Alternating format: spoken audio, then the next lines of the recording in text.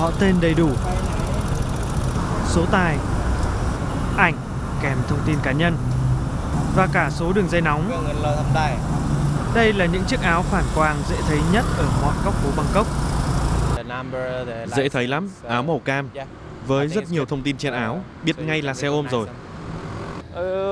Nếu mà tôi không mặc áo giống như những lái xe khác thì chẳng khách nào lên xe của tôi cả. Chiếc áo đặc biệt này xe ôm nào cũng được phát, là quyền lợi và cũng là nghĩa vụ của họ. Bởi theo luật pháp Thái Lan, các lái xe ôm đều phải đăng ký với chính quyền, đóng thuế và nộp phí hoạt động mỗi năm.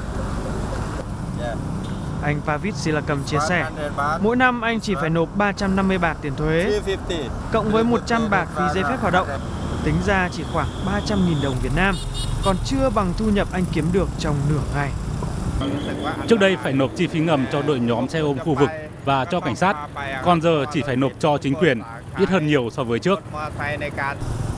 Thực tế khảo sát của tạp chí chuyên ngành về giao thông cho thấy, chỉ một năm sau khi áp dụng mô hình quản lý này, thu nhập của lái xe ôm Bangkok tăng thêm từ 3% tới 67% tùy theo khu vực.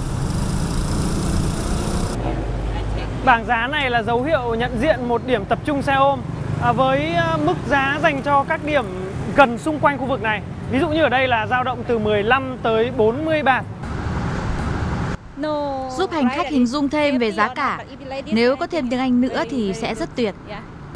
Có riêng một cơ chế xếp hàng, lái xe đến trước, treo biển ở trên và được đón khách trước. Rồi sau khi kết thúc hành trình, họ lại tự giác xếp số hiệu của mình xuống dưới, dành lượt cho các lái xe khác.